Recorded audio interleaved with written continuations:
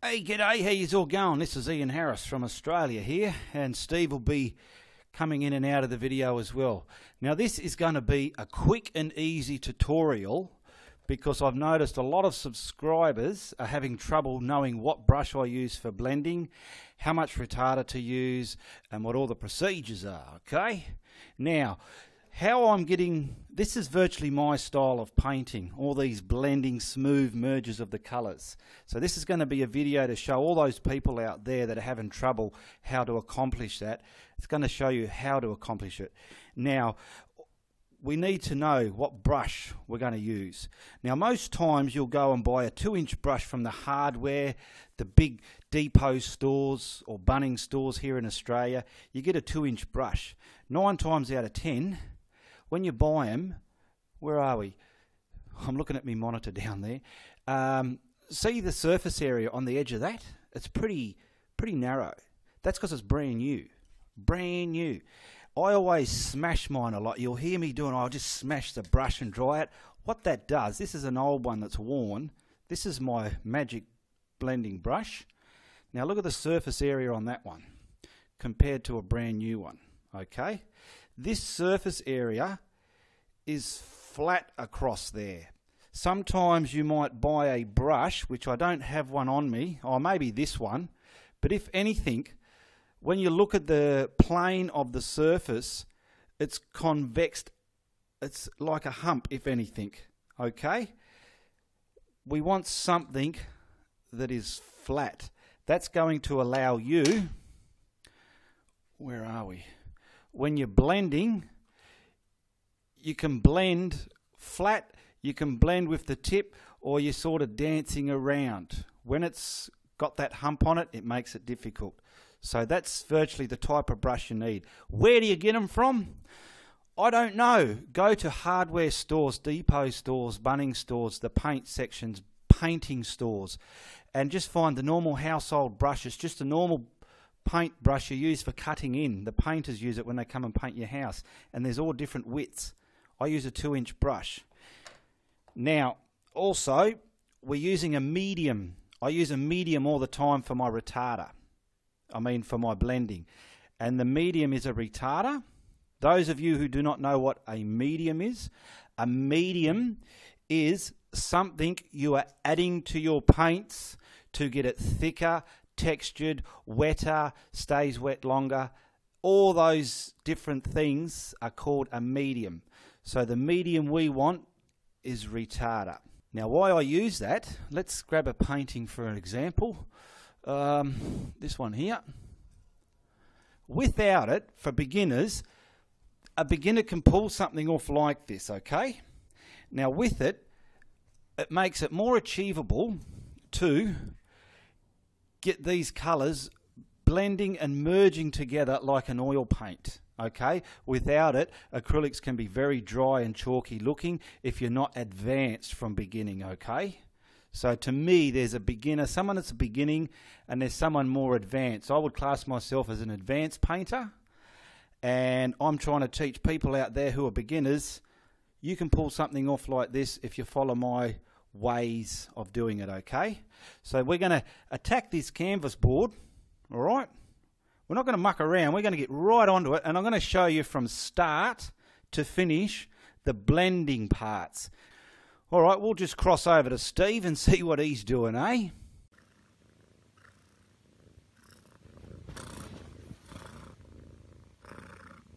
Alrighty, we're starting off with a canvas. The first thing I do to a canvas is we're going to spray it. Now this is the procedure to get all the way I blend done. We've got a, a canvas board, can- the better the canvas, the better you'll get. The better quality paints, the better you'll get as well, eh? Now, I've got a squirt bottle, a spray bottle with just water in it. No magical stuff, it's just water. And we giving it a nice it's got a nice film of sprayed water on there, okay? That was so easy, wasn't it? You can do that. Now, down on my palette, right, I'm going to grab a brush to put the, the paint onto the canvas.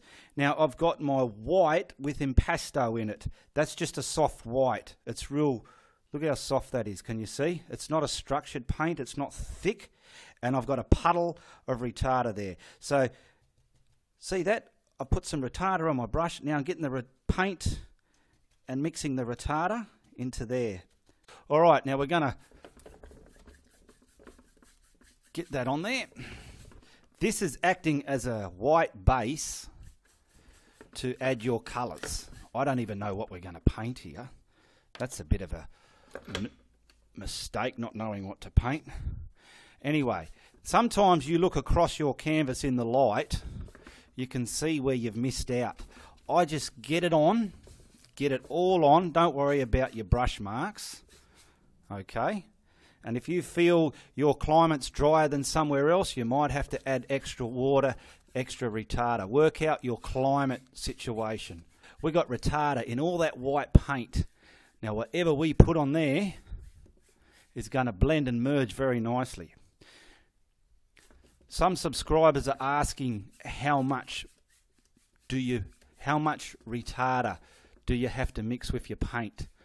Well, like I said before, depends on your climate where you are. But just be a mad scientist like I am and add what you reckon. But if you reckon your climate's cool and it's taken too long and it's too wet, and add less. Simple. All right. Now that is done.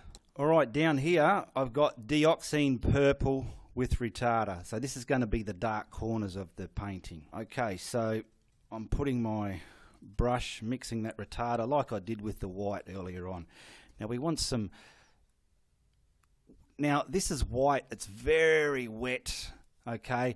I don't want to push this in with the brush because it'll start lightening this up. So what I do, I get it on there. That brush is full of business. It's getting busy with that dioxine, and that's what you want in a situation like this.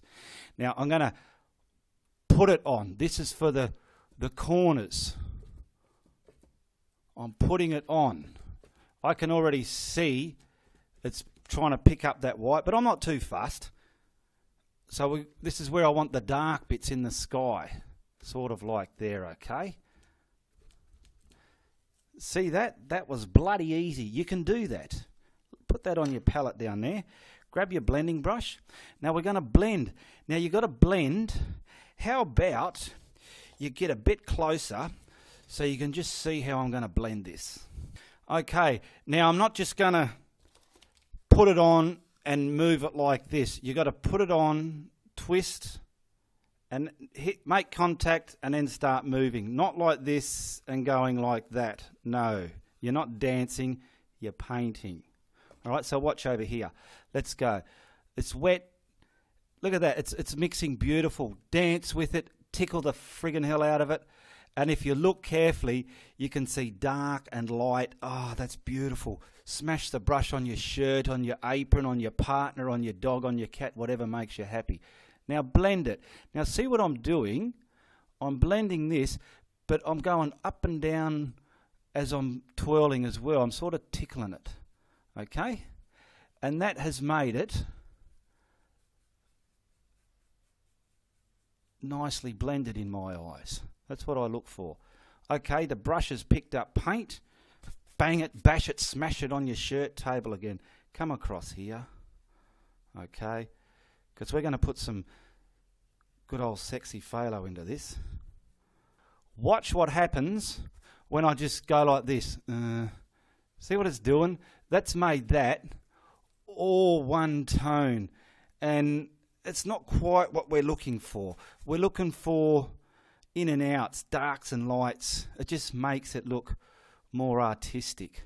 Okay, I'm happy with that. Now we're going to add some, we'll use phthalo blue in this one, okay? Okay, down here I've got phthalo blue and a puddle of retarder. So I'm going to load up my brush I'm going to use to put the paint onto the canvas with. Alright, so same thing again.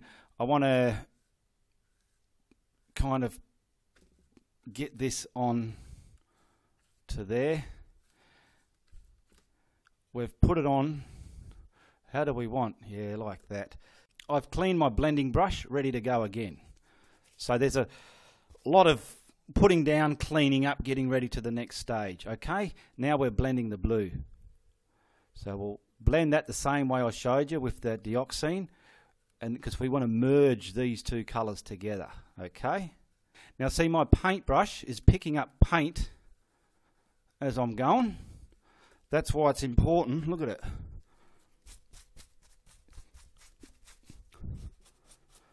To dry it off a bit.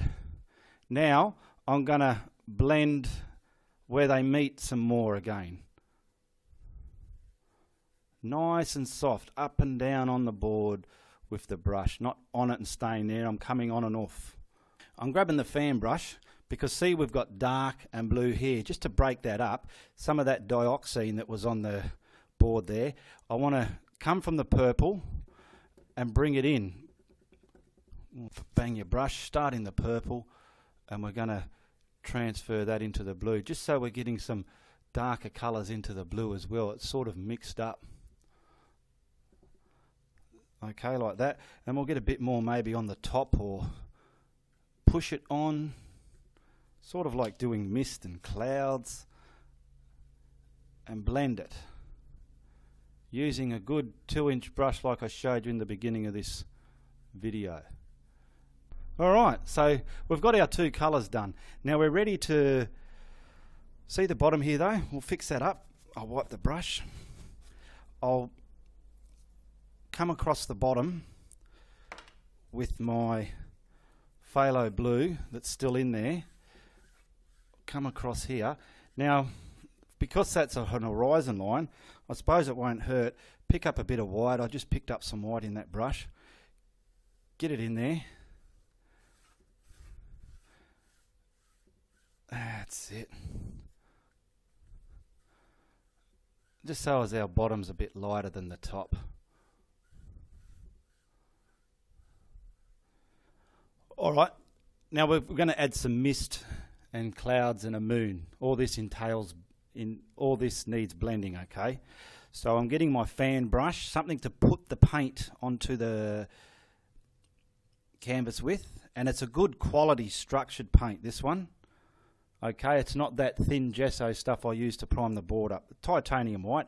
Now work out where you want some mist, so it's just a matter of watch this, it's very easy. I've done this in many videos before. That. Grab your blending brush. It's all ready to rock and roll. Nothing's stopping you. Only you are stopping yourself. Now we're going to blend. Tickle it, blend it. You want to sort of find that smoky look out of it. You know, move your brush around if you need to. Don't just feel you've got to do it in one way. And get bloody comfortable. Make sure you're comfortable. Even if you've got to stop and put the damn kettle on, do that. All right, we're getting there. So there's a bit of mist on one side, and we'll probably put a bit of mist on the other side. Now this this white has no retarder in it. It's just white. Now we'll put some about.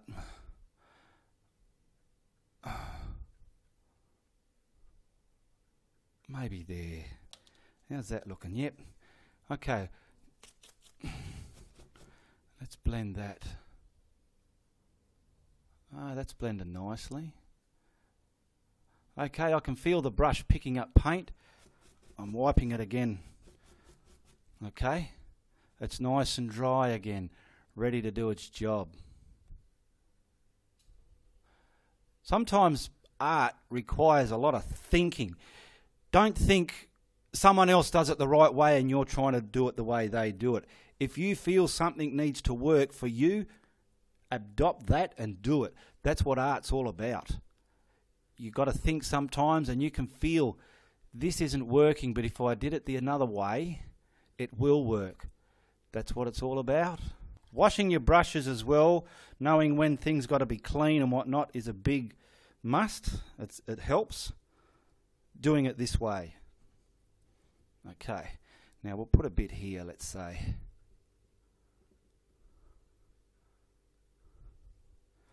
Okay, this brush is going to blend that.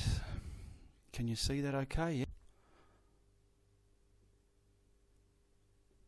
See, I'm dancing very light, pushing it.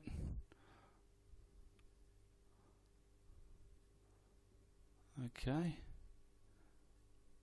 And we're getting some nice, wipe your brush.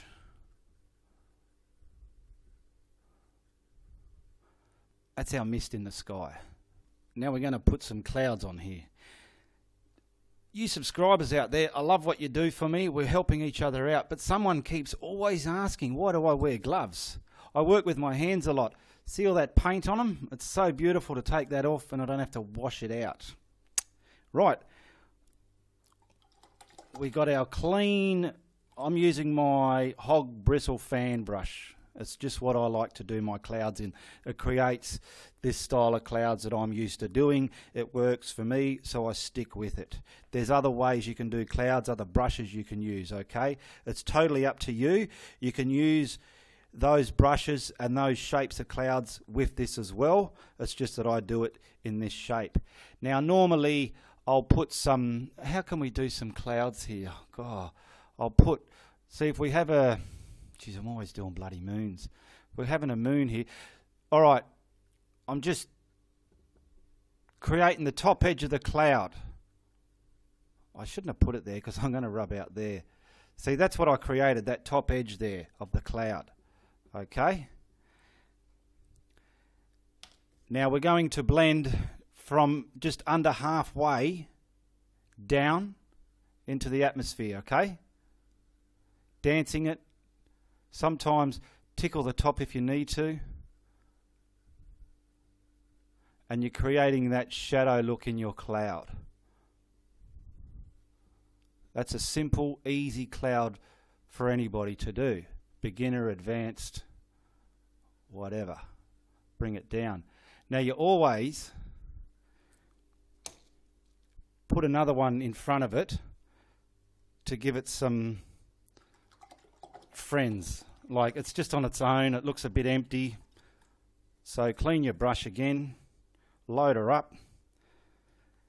Now leaving this shadowed tony colour there, don't come right up, start again doing another cloud, dance this around any old way. Always finish them up with a line, as you know. Drop your brush, and start blending. Now, if you're in a humid area where the temperature is warmer and drier, you might have to work quicker or add more retarder. Now, I'm blending this down using my brush different angles. So I'm getting all these different looks and aspects of cloudy sort of images onto the canvas there. Any bits that look a bit diculated, get up there and blend them down. But that's pretty much. Now I'll blend that down into the atmosphere. And nine times out of ten, I put little long horizon ones on there, like I've done. Oh, you can't see it, but little little long ones across the bottom of the atmosphere. All right, I'm going to finish blending this. Let's cross over to Steve, see what he's up to. Okay. At this stage, everything is still wet. We haven't blow dried nothing. Because if I blow dried that, this blending becomes a lot harder to accomplish. Okay, we'll put some, see we've got that mist there, so I virtually want to keep some clouds. Watch this again. I'll actually, I'll bring you right in so you can see exactly what I'm doing, all right? Alrighty, you, you're close enough? Fair enough, all right, now let's go. I've got my brush loaded up and I'm going to crisscross. Sometimes I go on and off and sometimes I'm going on, sliding it, and like that. See? And this edge here is the cloud you see. Uh, uh, it's just so bloody easy. And see here, it's nothing. We'll bring that like that. That is ready to blend. So we've got our brush. It's still from blending this side. I've just kept wiping it on my towel roll. Now we're going to blend. Watch. See, I'm starting the motor. Okay, she's going. Like a chainsaw or something. Now we're turning. Now we start making contact. Oh, come off a bit. You know, pass it over there. Coming around here like that. We're still going. This is what it's all about. Wipe your brush again. Come down, make some contact again. That's what it's all about pretend you're operating heavy machinery. Now, see here? We want to get that shadowy tone in there so you can start pressing heavy. These are what I was showing Diana Hexter yesterday. We had fun yesterday. We did a painting and had some cake and cups of tea. Anybody ever come to Australia and want to look me up, you're more than welcome to come over. We get some paint out, get to meet each other, and do a bit of bloody painting. Now, as, as always, sometimes I tickle those top bits up. Like you might see other tutorials, Bob Ross or something, they'll flick it up, but they're using oils. I don't do that in my style. I just don't. It works for oils because they're more wet and the colours can stretch and pull within each other. It works great for them. But I'm teaching acrylics only and I only paint in acrylics. Okay, we've blended that down. Ready to give him a brother, okay? All right, we'll give this brother on there. Work out how low to put it.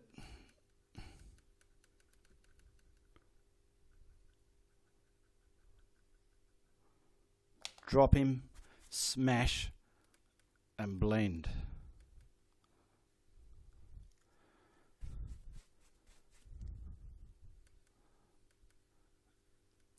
And we're blending down into the atmosphere, okay? My next proper painting lesson is going to be lightning. So I hope you can join in and watch me paint some beautiful, sharp, dark lit sky with some lightning dancing across the sky. Real easy to do. All right, we'll just finish this up with some, maybe one there. Blend him down.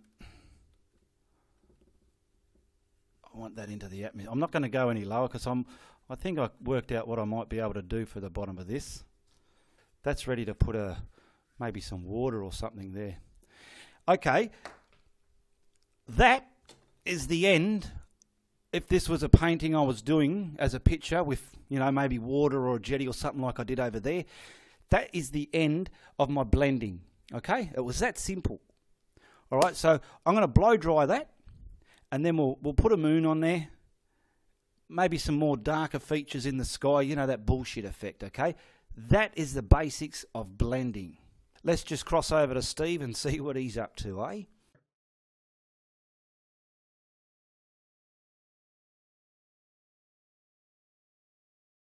I might do a bit of a different moon, okay? I'll use this round sponge. Now, I'm even getting questions on this. I found that in the art supply, it just looked like something that'll come in handy. Okay, and it does.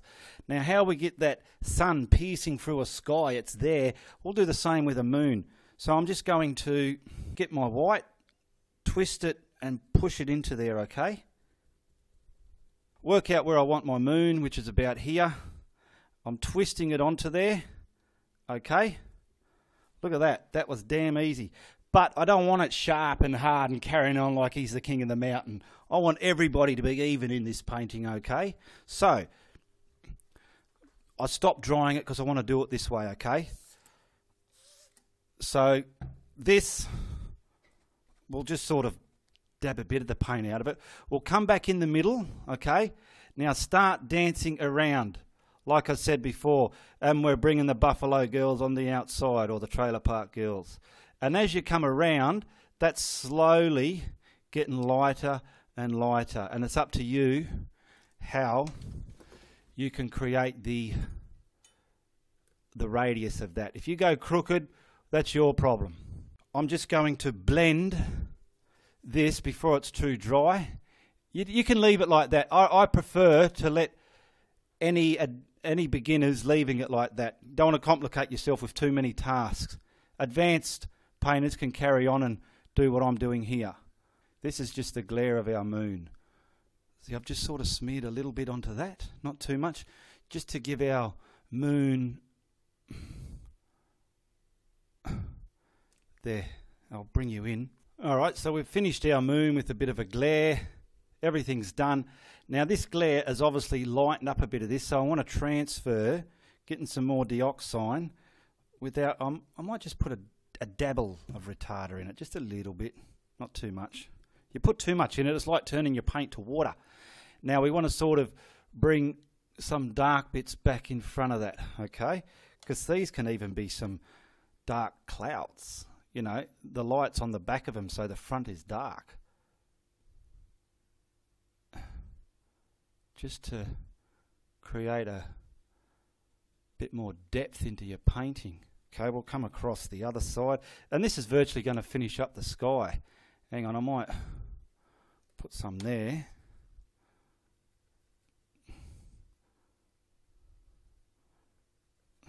Try not to overkill it.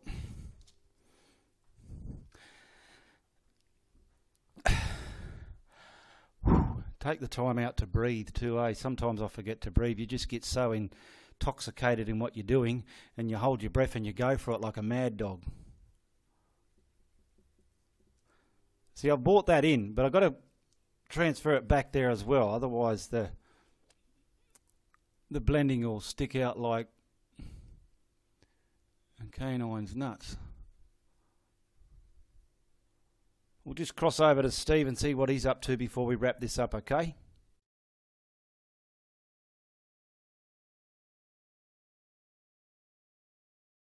Add some of this mist back where we killed it. I've got to just do a bit and stop because it's a lot drier than when we first started with the retarder. Because as you can see, that purple, now these are not clouds, they're mist.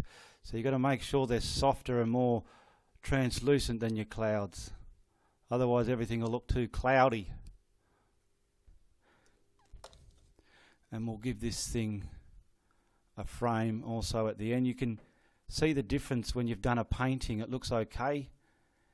And you, you put a, a frame on top of it and it looks quite good. So let's put a frame on this, eh? All right, that's pretty much how we need to blend. Those procedures, using those subjects, using those brushes and colours. Use whatever colour you want, but it all works the same principle. We'll put a frame on this just to show you how great it finishes a painting off. Look at that, eh? Now, I'll probably finish this off on camera, maybe put some water. I don't know, I'll do something on it.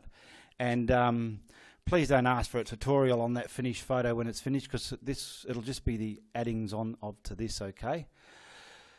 Any more trouble you have, be sure to message me. Follow me on Facebook. Just type in Ianapolis. Search and click on the name Ianapolis. Not Ianapolis Harris, just Ianapolis. Follow me on YouTube. Share every time you see my videos. Like and subscribe. I love you all. I'm nearly hitting 10,000 subscribers, so let's help get me there. Hope you like what I showed you today. All the best, goodbye, good luck, and good on ya.